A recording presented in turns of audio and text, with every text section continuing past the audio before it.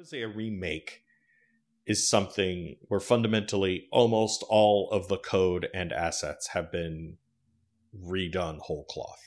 Mm. Um, this would be Resident Evil remake. Four remake. That's that's a remake, right? It even has a remake in the and it's built from the ground up. Oh, the new one that just got not the VR yeah, one, but the new one yeah, that just got released. Yes, yes, exactly. That would be a remake. I I would still say let's credit the original devs in in in an area of credits for the original game, but it is still a remake, is what I would consider that.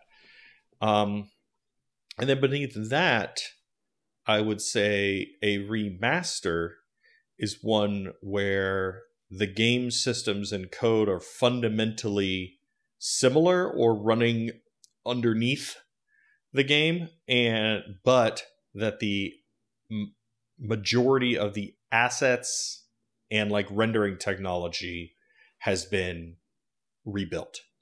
Mm-hmm. So that is where Metroid fits into that almost perfectly because essentially what you have is the original game kind of running underneath and then everything else on top has been rebuilt uh, at the presentation layer be it presentation of visual or audio um, i would consider that like a remaster it would still be a remaster even if they like redid the ui for instance though but the fact of like almost all the camera systems shooting you know fundamentally the vast majority of the code is the same as the original that's what I would consider a remaster.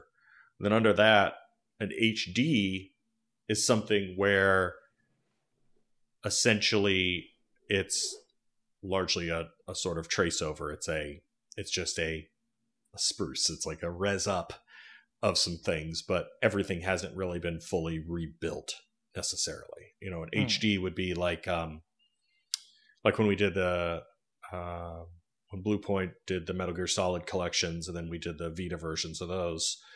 Um, you know, we we redid a lot of the textures and everything to show up in HD, but you know, by and large, the geometry was was the same, animation was largely the same, and the textures were just sort of like redone so that everything still appeared sharper. Um, I would consider that more akin to like an HD than a remaster. So something like um, I believe Skyward Sword would be would probably fit into that uh, more than the Metroid Prime remastered, maybe, or like uh, the wind when they redid uh, Wind Waker.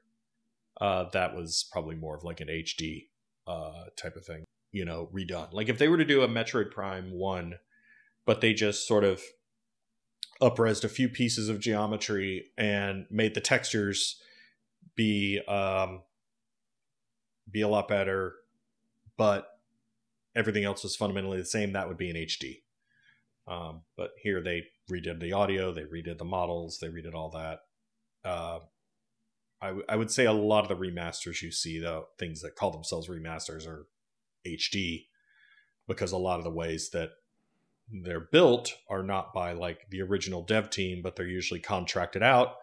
And then, with the exception of Bluepoint, a lot of them kind of throw a lot of art at it to make it look good, but not really re envision um, things for a modern look and feel.